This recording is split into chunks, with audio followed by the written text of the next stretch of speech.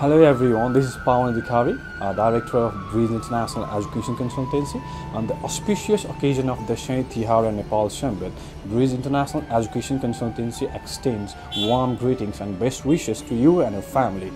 May this joyous festival brings happiness, prosperity and success into your lives. As we celebrate this cherished tradition, remember that we are here to support your education aspiration throughout the year. And happy holidays guys and a wonderful year ahead. Thank you.